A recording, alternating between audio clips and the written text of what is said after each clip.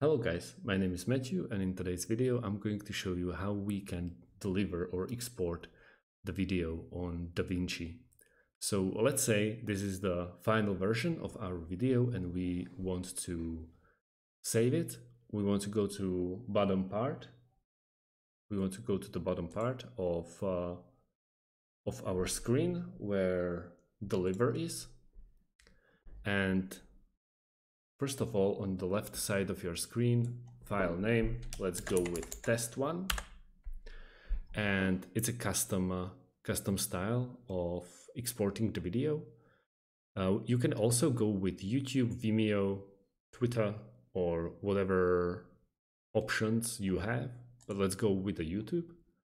We are uploading in uh, 1080p. You can go with 720 and 2160 uh, location where you want to use it, uh, where, where to you want to download it. It's like let's go like this on your desktop, and that's about it. You can also directly upload it on YouTube, but I'm not using this option because you know you really want to do some back check on the video and stuff like that, and that's about it.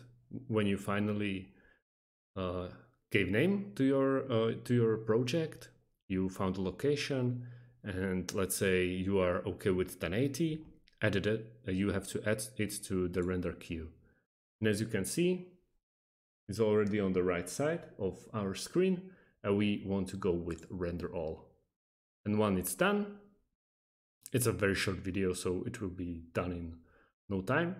That's how you actually downloaded your video. So thanks for watching and see you in the next one